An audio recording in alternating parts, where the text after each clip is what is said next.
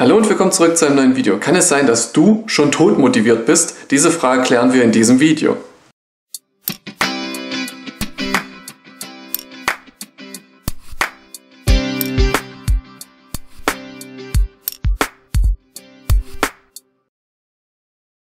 Und ja, ich weiß, wie wichtig Motivation ist, aber es gibt irgendwann einen Punkt, an dem man einfach genügend Motivation erfahren hat, an dem man genügend gelernt hat. Und ich habe bis hierhin ja auch schon viele Motivationsvideos hochgeladen und darin erklärt, wie man sich motivieren kann, wie man sich Ziele setzen kann. Aber irgendwann ist der Punkt erreicht, da ist man einfach tot motiviert.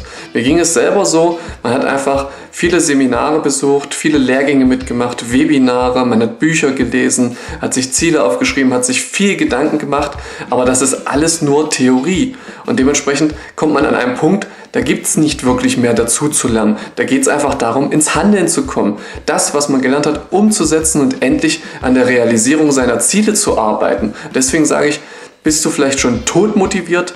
Beantworte dir die Frage mal ganz ehrlich. Wie viele Bücher hast du schon gelesen? Wie viele Seminare hast du schon besucht? Und was hat es dir wirklich gebracht?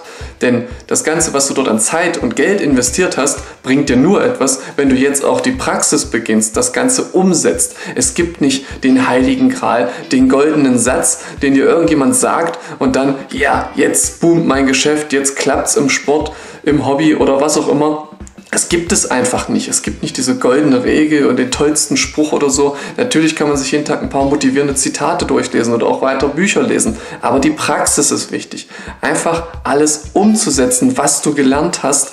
Und deswegen pass auch auf, dass du nicht mehr Seminare besuchst, die einfach nur in der Theorie leben. Die einfach nur sagen, ja, schreib deine Ziele auf, Denke jeden Tag daran, visualisiere deine Ziele. Genau, das habe ich auch alles schon in meinen Videos gesagt. Das ist vollkommen richtig. Für Anfänger ist das auch geeignet. Aber es gibt viele Personen, die irgendwo auf dem Mittelweg hängen geblieben sind. Die haben so ziemlich alle Informationen in sich aufgesaugt, die mit Motivation zu tun haben. In der Theorie sind sie die absoluten Meister und dann sind sie stecken geblieben, weil sie vergessen haben, in die Praxis überzugehen.